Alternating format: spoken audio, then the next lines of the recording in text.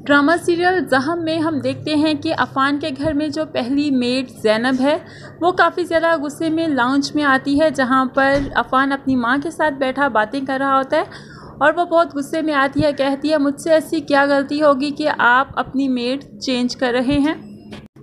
मैं भी तो बेगम साहिबा का बहुत अच्छा ख्याल रख सकती हूँ, इस पर अफ़ान कहता है कि ऐसी बात नहीं है। हम तुम्हें भी साथ ही रखेंगे, लेकिन वो अम्मी का ख्याल रखेगी, अम्मी की मेडिसिन का डॉक्टर का, हर चीज़ का ख्याल रखेगी। जैनब कहती, ये सब मैं भी कर सकती हूँ। आफ़ान हंस देता है और कहता है, चलो ठीक है, अम्मी की बीपी और शुगर की मेडिसिन तो बताओ ज़रा कौन सी हैं। लेकिन जैनब जो कि ज़्यादा पढ़ी लिखी नहीं, उसे पता ही नहीं चलता। उसके बाद वो कहता है, अपना मोबाइल दिखाओ और उसमें से डॉक्टर का नंबर निकालो।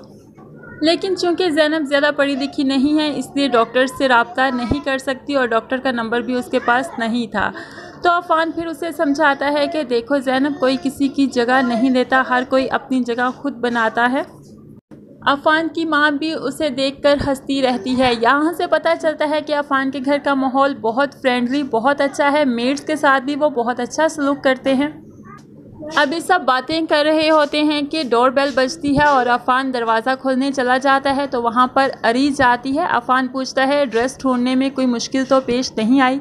वो कहती है, बिल्कुल भी नहीं। तो अफ़ान उसे लेकर टीवी लॉन्च में अपनी माँ के पास आ जाता है और कहता है, ये अरीज है जिसका मैंने आपसे ज़िक्र किया था, ये आज से आपका ख्याल रखेगी। माँ अरीज को अपने पास बिठा लेती है और कहती है, बेटी, परेशान बिल्कुल नहीं होना, ये बिल्कुल घर का माहौल है, हम तुमसे बहुत प्यार करेंगे थोड़ी ही देर बाद अफ़ान की कज़न एमन भी सीढ़ियों से उतर कर नीचे आ जाती है और कहती है अच्छा तो ये रखी है आपने जैनब की रिप्लेसमेंट में? अफ़ान कहता है, जैनब की रिप्लेसमेंट में तो नहीं, लेकिन घर वालों की रिप्लेसमेंट में रखी है, क्योंकि घर वाले अपनी ज़िम्मेदारियाँ भूल गए हैं। यहाँ पर उसकी कज़न उसे देखती रह जाती है और अफ़ान वहाँ से चला जाता है।